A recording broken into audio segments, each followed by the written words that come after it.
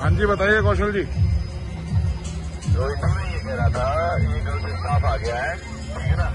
आपसे मैं एक बार मुलाकात कराना चाह रहा था। अबे वेस्टेज यार। वेस्टेज है। अभी आ रहा हूँ पाँच मिनट में